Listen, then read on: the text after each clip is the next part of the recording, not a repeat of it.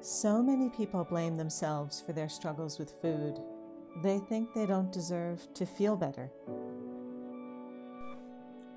Tapping can help resolve these issues effortlessly, as you'll see in my work with Anne, who needed help with her chocolate cravings.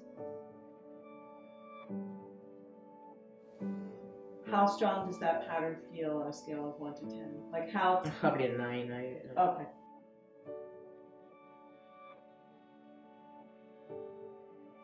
And I have some chocolate. What kind of chocolate is it in? uh, I have a funny thing. I go on whoppers when I when I'm going off chocolate Whoppers, yeah. because I don't like them very much. They're not really chocolate. You know, I like Swiss chocolate.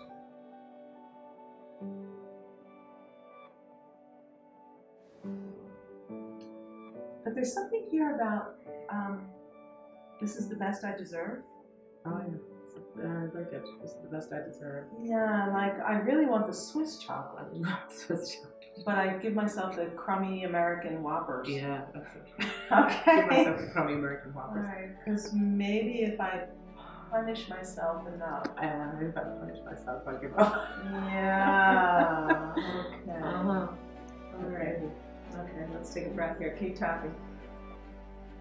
This whole pattern. This whole pattern. Mm. I know I deserve better.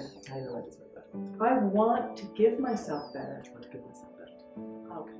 But I'm not sure how to do it. I'm not sure. how to do it.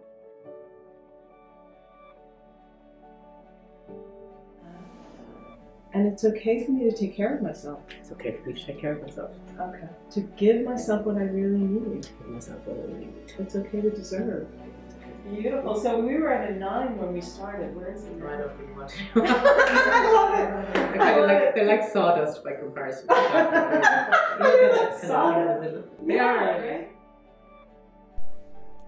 Tap Taste Heal is available everywhere books are sold online. You deserve the healing you desire. Pick up your copy today